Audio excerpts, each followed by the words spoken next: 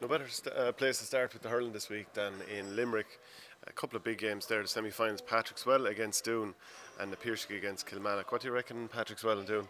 Sure, it's tasty, isn't it? In all fairness, um, Aaron Gillane, some doubt whether he'd be back after getting a broken jaw in one of the games. I think it's about six weeks, six to eight weeks ago. That's ropey enough, like whether he'd be whether he'd be back in time. Doon obviously have their own injury worries then as well, with, with Barry Murphy being out. Uh, and you look down through if Gillane is fit and you throw him with Cian Lynch and Dermot Burns, and I'm sure they've, they've plenty of other good fringe players as well. I believe Kieran is Kieran Carey over them this year as well. I think I think he, he's involved anyway in some capacity with them.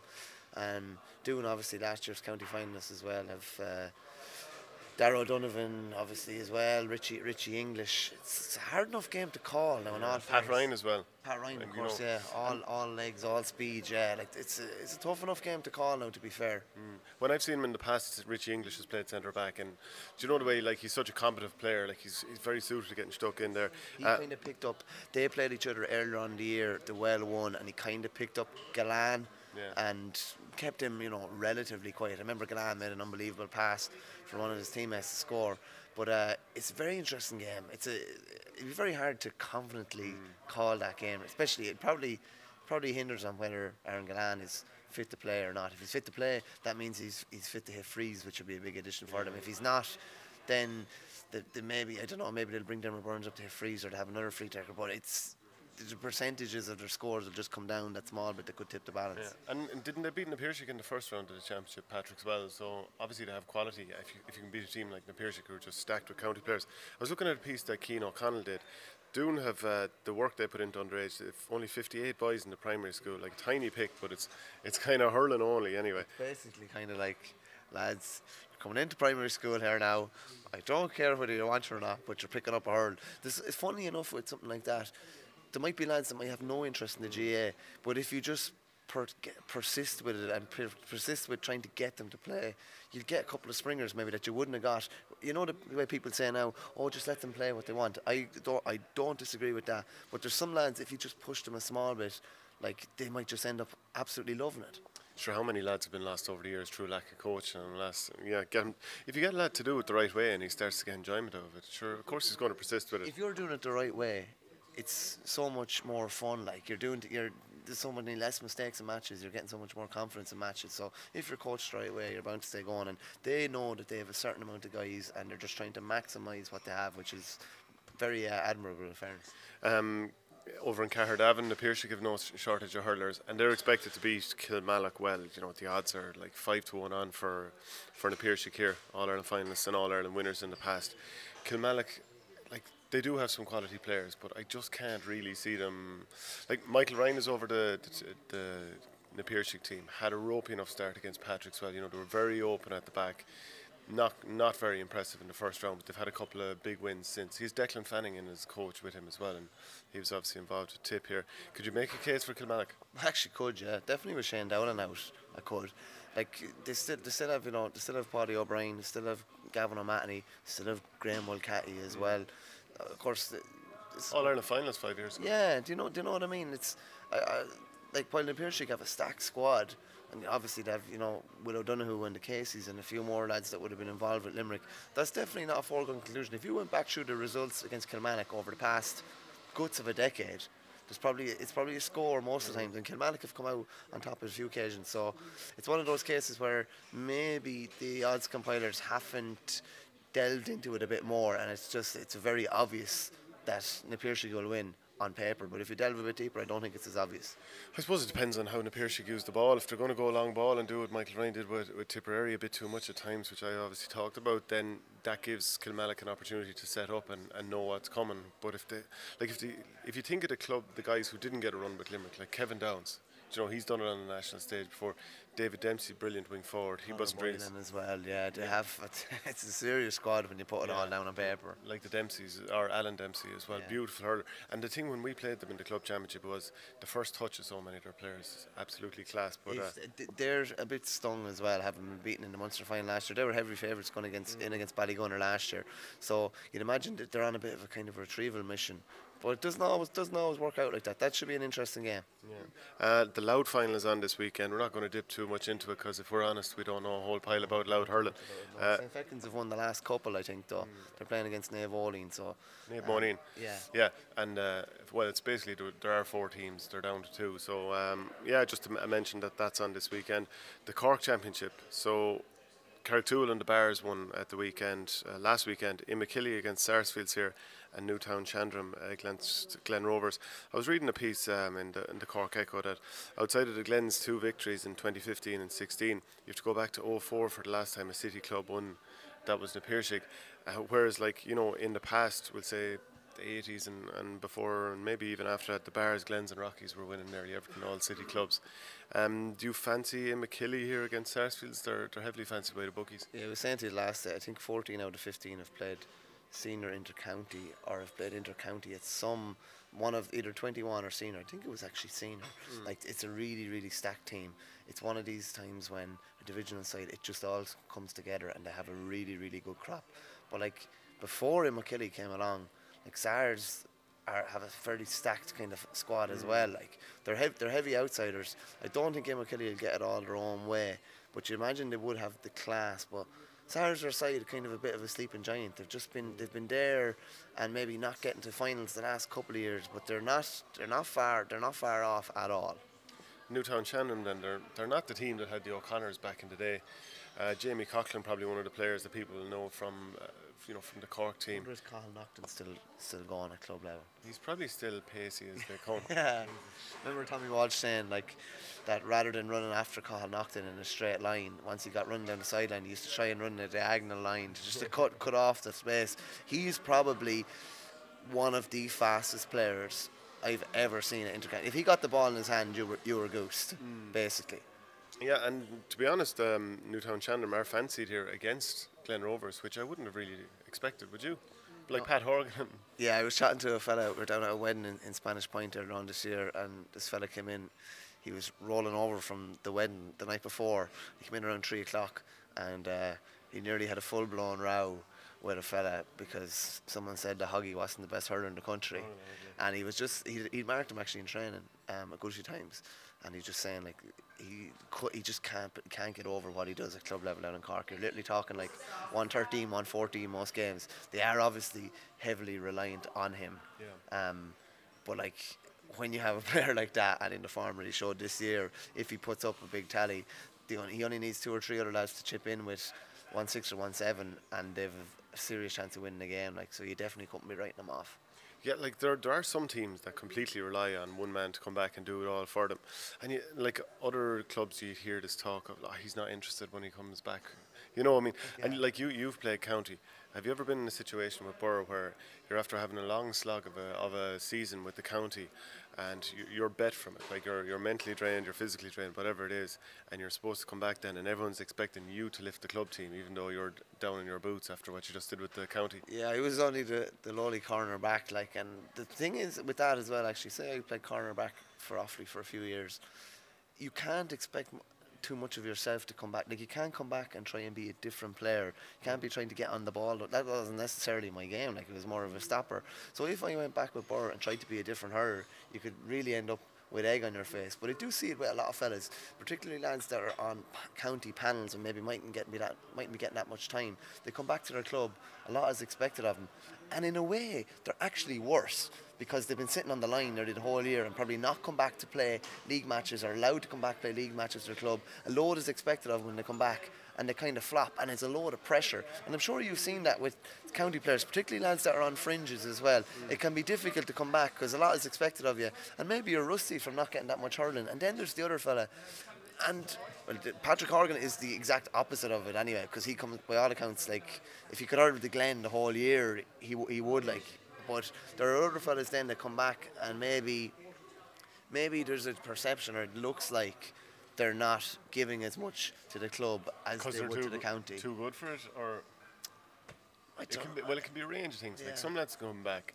and they're a senior inter-county star, and they've come back with a junior club, and yeah. the standard is probably beneath what they're capable of. So I'd say some lads are like, "Oh, I couldn't be bothered." It can be, yeah. Uh, you can you can often see that, and you can see a lad kind of slipping back to the to that level when he sh- when he should be kind of rising above as well. You know what I mean? But it's it's it's a trick it's a tricky one.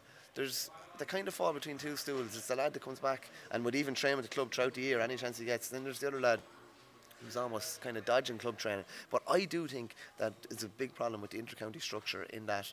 Like lads should be with their club to me every ten days to two weeks hmm. throughout the year. I've, I, I, I don't think that's even negotiable. But now you have county managers basically demanding that they don't go club training, demanding that they don't play, and not letting them. And it's almost like they get disenfranchised with their own club, and they feel like a stranger going back to their own club, which is basically, t- to me, it's against everything the GAA and the ethos of the GAA should be about. So, like, I think we should be shifting back more towards the club and, and less away from the county. But, but even think about it. Let's say there's like everyone knows what the league structure is when your fixtures are going to be in the in the National League ne- next uh, spring.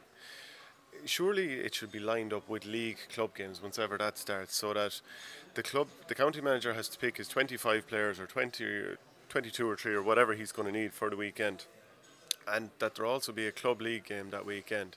Anyone who isn't named inside the 23, 4, 5, 6, whatever you want to say, they then are therefore released to play because otherwise like the managers are only flogging them after them like an unused sub is flogged after a league 10 or match 15 uh, minutes on a pitch or something after, yeah, which means nothing really. whereas you want to get nothing. get hurling Yeah. into Yeah. so I think it's, It's silly a control thing with managers, though. A lot of them like the control of, oh, we have him here, we have him here for six months, and we're going to do whatever we can with him. To me, it's a no-brainer that they go back hurling club matches and show their face the club every chance they get. loads of games in Dublin this weekend of course I'm going to have to let you take over here I can't be talking too much about the cham- championship I'm involved in I'll um, go through the fixtures if you want. Like Luke and Craobh is a very interesting game. It's kind of even money each or two. Um, Craobh obviously, Craobh are one of these mad clubs. They really shouldn't be where they are still, by all accounts, with the pick that they have and the location that they have. But they still manage to keep driving it on. Lucan, Lucan should are again. They're probably like a bit of a sleeping giant as well. Well, they're, They're- one of these teams that has been close so Yeah. often over the years, and I'd say it's it's been heartbreaking. Some of the some of the defeats they've had at semi-finals and final stage, like they've a really good spine to the team. Of course, Peter Kelly's had so many injuries over the years, but brilliant player. Chris Crummey, probably Dublin's arguably Dublin's best player. Johnny McCaffrey's still in there. Kevin O'Reilly, is he still going forward? Is it Uh, Kevin O'Reilly? Chap, Chap Riley. Yeah, I'm not sure if he, he was. Uh, he played under twenty one against me years ago. He was. He played up to a couple of years ago anyway. Um, Lucan are actually. Yeah, it's even money each of two. I wouldn't be like. I think Lucan are probably. Lucan are probably a strong kind of bet in that type of game. Craobh hammered Vincent's earlier on the year. But That's like, a uh, local derby where you actually have two brothers playing against right, each other. yeah, the, yeah, the two. Heathertons. Um, it's kind of funny. One of them went to, I think he went to school with Craobh lads, and the other, you know, and uh, sorry, his father's from Craobh, Kieran Heatherton, who was involved with Dublin under Daly, and then the other Heatherton, uh, he probably went to school with St Vincent's lads. So you have John Heatherton on one Yeah. side, and the, the other You Heatherton on the other. situation down, same down in Ke- uh, down in Kilkenny as well, where Brian Hogan and Keith Hogan were Yeah, yeah. captains. Clara and yeah, yeah. So Brian Hogan, when he grew up, they were living in the city and they were living in O'Loughlin's territory. They moved out to Clara. I'd say maybe when he was like, I think, I think they moved out maybe when Keith was like ten or something, ten or eleven or something like that. And Keith played with Clara the whole way through, and Brian stayed playing with O'Loughlin's, and then ended up. Um, Marked each other. in as the good as final, as good as marked each other in the county final a couple of years ago, yeah. And funnily enough, Keith got called into the Kilkenny panel for one year, and I think Brian was after getting dropped from the panel or retired or otherwise, or I think he actually retired. Retired, sorry, he was after retiring earlier that day. So like the, their paths even didn't cross the county level. But it's interesting. It's some of the, those mad stuff that kind of happens at club level. And what about uh, Ballyboden against Vincent's? You'd, you'd have to fancy Ballyboden League final recently, county champions, of course. Yeah, Boden, Boden would be very disappointed with their Leinster final performance last year, but they had been brilliant up until that. To be fair, they were just I don't know if they didn't show up or Ballyhale just Ballyhale were just on a different kind of level to them that day. But up until that, like the Coolderry game in the semi final was outstanding. The two county finals were were brilliant as well. Paul Ryan, I think, picked up a bit of a hamstring knock in uh, the league final. It was three weeks ago when when Cuala beat them. So like whether he's able to play or not will tell a lot. But I, I still think they would have a bit too much for Vincent's. Um, just like so many county players, there are ex, you know, current or, or uh, past like Conal Keaney, Shane Durkin, Simon Lambert, and as well. Uh, I'm trying to think what's the name of. Oh yeah, Basquel, Collie Basquel. Yeah. Like he's one who came into the team last year late on. I'm not 100% sure if he's involved with the Dublin senior football panel anymore. Someone that, you know, one of these things, you obviously have to be hurling the whole time to be up to inter-county level, especially. But I wonder, with that pace he has, would Mattie Kenny be thinking, uh, get this lad involved? And if he impresses in the county championship, and I mean, it can be tough to know who's going to line out, but he's a player that, Yeah, like, be like he had nothing done hardly. Like he trained like two or three times. He played a practice game the week before the Coolderry game last year, where he got three or four goals or something like that. But he'd barely done any hurling up until that, and then he delivers this outrageous performance. What did he get? Was it three? Something ridiculous, Yeah, yeah. was- I think it was three three or something like that. And his pace, burning, burning pace, like it's hard beat. It's hard beat that. Mm. Um, it'd be interesting to see if he's able to, if he does play throughout the, the knockout stages, and whether he's able to kind of back up a, would say a, one, a kind of one-off performance. Mm. And then Na Fianna against Brigid's. Nafina are one of these common teams for a long, long time. Like Shane Barrett plays for them.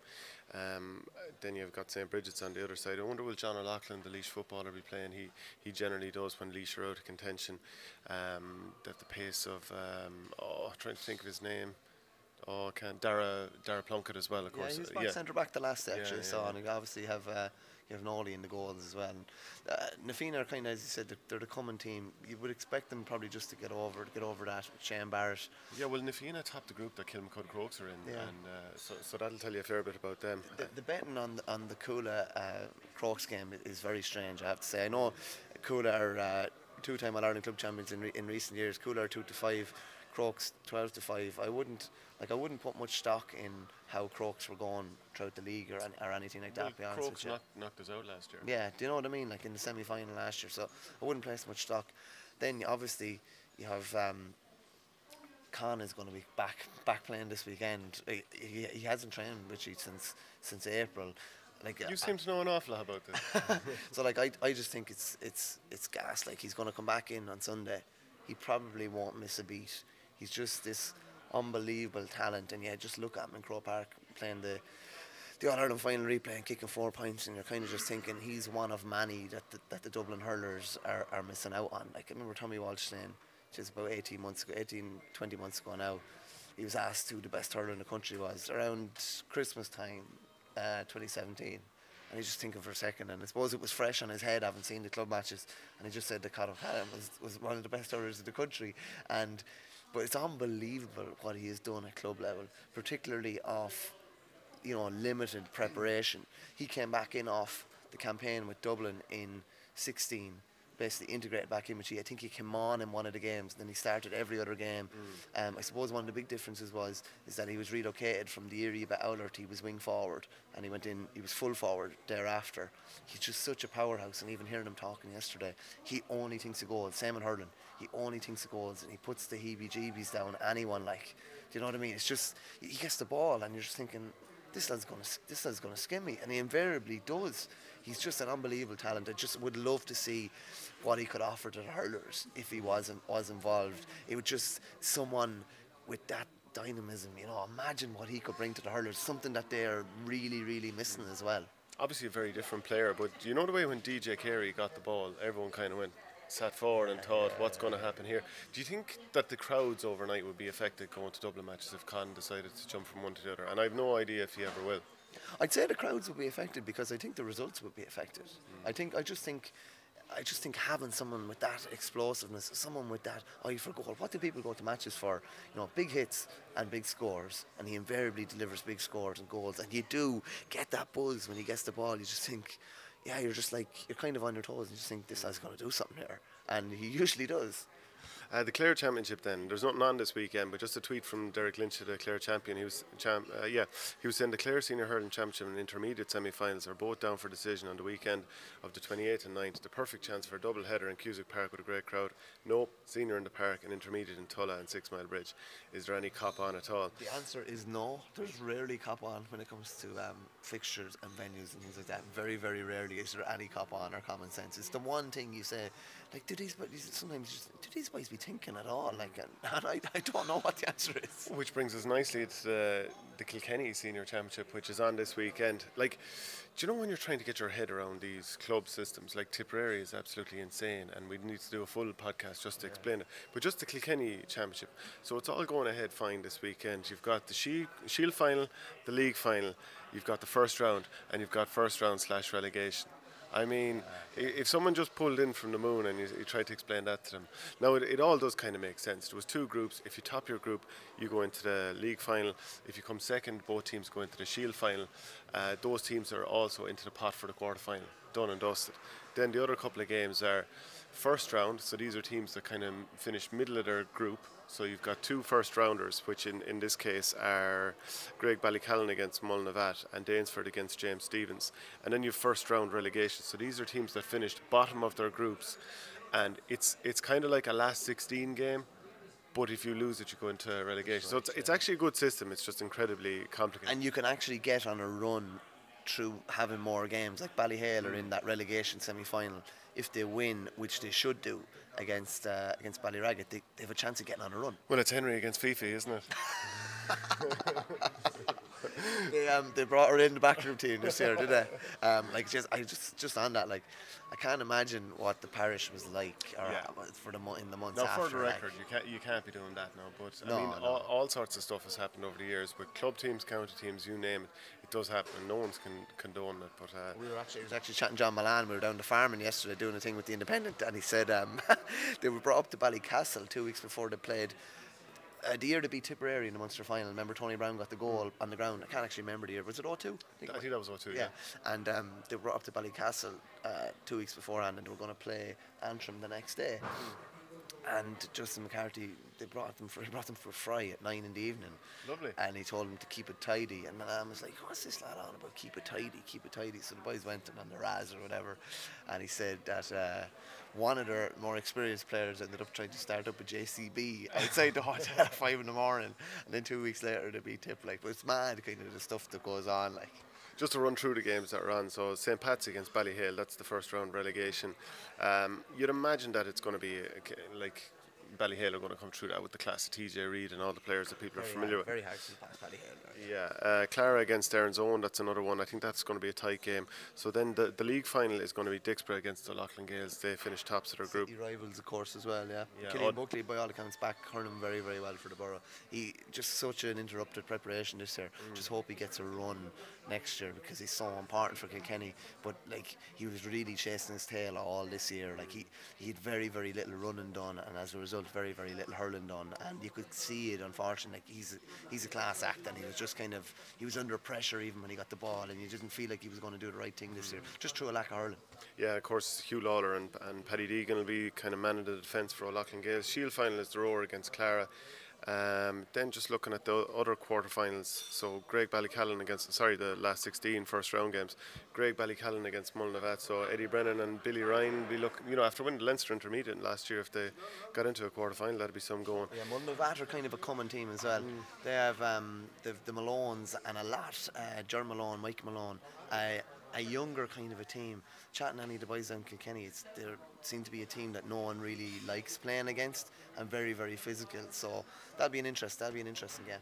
And then the last one, Danesfort against James Stephens. I think that's a fairly tasty one now. Danesfort have won like I think three games in a row, and it's probably the first time they've ever done it at senior level. So Richie Hogan and Paul Murphy are the players that people would be aware of. Paddy Hogan then as well, of course. yeah, Richie yeah. Moore, Um, but for the, the James Stephens side, Niall Brazel and Matt Ruth still be well. Niall Brazel is young, like so they'd be running the show on the front line. Mikey Drennan, remember him, the lad who plays for St. Pat's, playing the county final a few years ago and got two or three points. But the the back line for for the village is the interesting one because you're going to probably have Jackie Tyrrell, who I think has been injured. He'll probably be in the full back line somewhere. Uh, Connor Brown is centre back, and Eoin Larkin is actually sweeper. I, I was looking into that, so that'd be an interesting way. To, I'd say there'll, there'll be there'll be killings in this match. Yeah, there probably will be. Seamus Dwyer from Laois is over the village, and he's brought down Cheddar. So Cheddar's involved in the village this year, kind of rave reviews about him. Um, it's probably no surprise maybe then that they're playing a sweeper and trying to play try play solid at the back and try and not concede too much. I heard one about Cheddar before that uh, like a team he was managing that he's big into this whole thing, and you've probably seen it before, of catching the sliotar, showing it to all the players. It's all about them six ounce, six ounces. There's a great one as well. Carter Healy told me about when they went over on a training camp in Spain, and uh, I think they were over there for five or six days. Not too sure whereabouts, but it was like 25 degrees plus.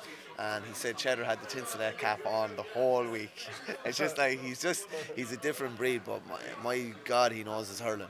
Um, one other game then in the intermediate in Kilkenny that I wouldn't mind talking about is Fenians against John Lockes. Now there was war with John Lockes. I mean, I- I'd say plenty of people saw the video of the Flakens going on in that match and red cards and apparently all sorts kicking off in the background and players may or may not be playing and people may or may not be involved anymore against JJ Delaney's club. So Fenians against John Lockes this Brave weekend. men, there'd be brave men to start something similar against JJ's crowd. Anyway, in fairness, yeah, the Fenians have an unbelievable history. In fairness, but just on that, the, the kind of schmozzles and that, it definitely is. Um, I suppose it's because of social media and stuff that we just see it a lot more. People, the, the, the, the it's like the gag reflex is to take out their phone and start videoing when anything like that happens.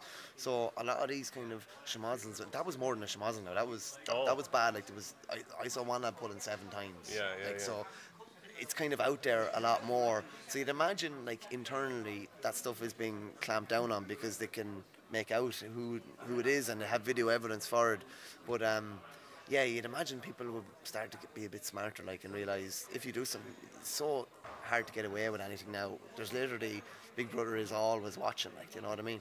Just back to, to the Danesfort game as well. I think the Danesfort in the village, like Richie Hogan, by all accounts, is in, in good shape again, especially considering that he um, he didn't train for the three weeks up to the All Ireland final because he had damaged his medial ligament yeah. in, in his knee. Um, he's a really really interesting one. I think it was a smart move from him to come out after the All Ireland final a couple of days after, and no, it wasn't break his silence, but just just It put it to bed. Yeah, Well, I, do you know what? It initially didn't put it to bed because it got a thousand more people talking. But in terms of like, at least it's had a chance to die down. And before the new season, he won't really have to talk about it again because it's done. Now he will, but it'll just be reheating the same thing. So Yeah, it's just like you just want to nearly get yourself out there. Just put just put it out there and. Yeah, as I say, it, it didn't put it to bed straight away, but at least he got it out there. He's an interesting one in the sense that I know he said he wants to play with Kilkenny next year. He also said that it takes him about two hours to, to get loose before he can train and play a match. He said he can't train without the aid of a physio, which is a bit mad. Like he actually, from what I understood, he couldn't even go pucking balls without having a physio available to him in case he had any trouble. Like so, it's an it- it's an interesting one. Like, is his body built for intercounty level at this stage now? Will Brian Cody? Uh, don't like to use the word carry, but can he will he can he afford to carry a fella maybe that can't do all the training that other lads can? Do you know? So it'll be an interesting one, but he won't want to. Geez, he definitely won't want to end his career after him been sent off in that Ireland final. Like Johnny Cooper had at least a chance to come back two weeks Yeah. later. and know Richie wouldn't have had that even if it was a Benny draw 'cause it's straight red. his yeah, as well. like I only think about that with Benny Dunne in Redemption. He came on the next year and got a point Yeah. then as well. You know, he definitely won't want you know former hurler of the year. We probably would be talking about him in TJ Reid terms if it wasn't for chronic back injuries. Yeah. Realistically. well, you'd be talking about player of the decade territory for sure. You would, yeah. Um, Because yeah. same as TJ, he'd been waiting in the wings, and once he had burst onto the scene, he'd really burst onto the scene. Nearly once Henry had left, he'd kind of taken the mantle. And it's just a pity that we were probably robbed of his talent. We've seen glimpses, but we were probably robbed of the talent that we all know he possessed. Yeah, and like he put the ball in his hand and he's still going to knock it over the bar, and he could do it this weekend. The Sligo final is on, and I see Olin McCarthy um, tweeting, "Well done to Sligo GAA for fixing the Sligo senior hurling semi-finals for uh, Friday night at 8:30 p.m. Absolute genius. The board couldn't organise a piss up in a brewery." Oh, lads, 8:30 p.m. Like if Do you know what we actually? Uh, there's a lot of double headers in Dublin, uh, Dublin GAA, and one I think it was a Wednesday night. We were playing a quarter final, and it was going to be the semi final then on the Sunday. This is in 2015, but it was a double header, uh, and I'd say the first game probably was like quarter to seven in Parnell Park, and there's lights there, so you can play the second match. Ended up going to extra time. It was nearly nine o'clock before we started our game, so it was coming up quarter past half past ten before we finished. It's bizarre, isn't it? And you know, you try and think about covering every angle in preparation. Like, you're never going to be training No. at nine. You're never going to still be training at ten o'clock some evening. You know, so it's a, it, oh, it's it's just a very very difficult situation for players. Like on a Friday night, there's probably lads travelling back. It, for Sligo, there's probably a lad travelling back from Dublin, hmm. and he's going to be playing. It's just bizarre. Like, like I don't understand it. The Wexford Championship then is the final thing we'll look at. So in relegation, Faythe Harriers against Oylegate, uh, Glenbrien. So you, Lee Chen will be looking to save a second team this year after football. Quarterfinals then Fern St. Uh, Aidan's against the champions Neavena. St. Martin's, who were won it a couple of years ago, have a lot of class in there. Rory O'Connor and, and his brothers against Glen Barntown. Mark Fanning's in goals there. St. Anne's with Dermot O'Keefe against Shelmaliers. Uh, Relegated last week in the football, Dermot O'Keefe and, and a few of those lads, so they'll be trying to bounce back. by Shel- Ford. yeah, Shells are a good side. Though. and then Rapparee Starlights against Rathnure, who've won it I think 20 times over the course of their history. So that'll be that's about it for the hurling Yeah, this if week. The, if the Martins, if the Martins have have a clean bill of health, they'll be unbelievably hard beaten. They're so much underage success and there's so much talent and so much speed. Mm. And if they keep Rory O'Connor and, and Jack O'Connor fit and the likes, they'll be very very hard beaten. Uh, don't forget you can um, you can subscribe to the page by clicking on that button on the right there and um, click the bell if you want notifications when new videos go live.